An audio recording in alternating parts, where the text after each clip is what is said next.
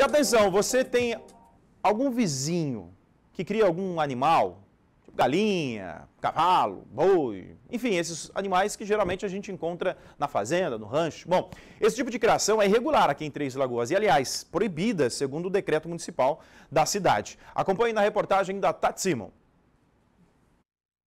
É proibida por lei a criação de alguns tipos de animais no perímetro urbano de Três Lagoas. Mas, mesmo sendo ilegal, a Vigilância Sanitária recebe, em média, 10 denúncias desse tipo de irregularidade a cada mês. 15 notificações foram registradas somente neste ano. A criação de galinhas representa mais de 70% das queixas registradas. É o que explica o coordenador de Vigilância Sanitária de Três Lagoas, Cristóvão Bazan. Hoje nossa legislação municipal ela não permite a criação de animais em zona urbana, né? somente na zona rural.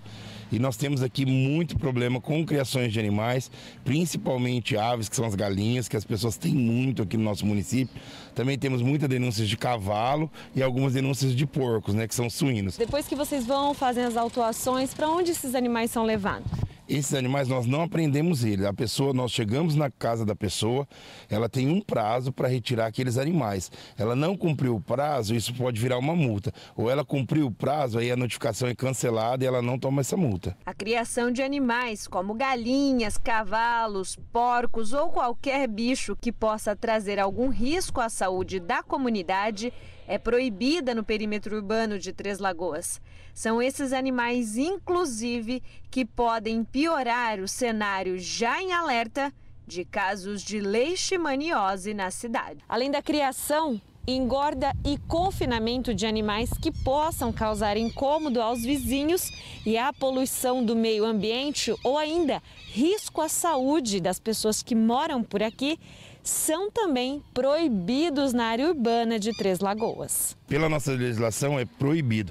A pessoa ela pode ser autuada e ela vai virar uma multa. Essa multa, se ela não pagar, ela vai para a dívida ativa.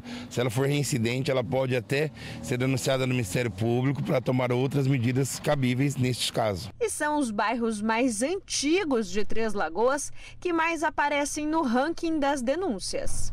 Nós temos muitas denúncias na Vila Nova, nós temos também no Paranapungá, Guanabara, São Carlos, Vila Aro. Essas nós temos muitas denúncias e a gente vai e comprova que são verdadeiras as denúncias. O mau cheiro vindo desses locais é uma das principais queixas de quem denuncia. Seria, seria eu mesmo reclamava. Eu mesmo ia reclamar se tivesse. Tem que denunciar, a gente tem que denunciar que faz mal pra gente próprio, né? A família da gente faz mal esses bichos. É, tá proibido, né? As pessoas criar. Tem gente que acaba criando, mas é proibido, né? Às vezes a pessoa tá sabendo que não é para criar, mas às vezes acaba criando, né? É. é também é um risco pra gente, né? Porque tá proibido, né? Criar galinha. E pode transmitir doenças, é, né? O, também. Mesmo porque pode tra transmitir a própria leishmaniose. É, também. Maus tratos e condições higiênicas precárias de quem possui animais domésticos, como cães e gatos, também incomodam os vizinhos. Só que neste caso, a denúncia é feito em outro lugar. Quando é condições de maus tratos, por exemplo, a, a, pessoa liga na denúncia que a casa está bem suja, que o cachorro não está em condições, aí essa denúncia é feita no meio ambiente e os, o veterinário do meio ambiente vai, ele constatando maus tratos, ele apreende o animal e a pessoa é autuada.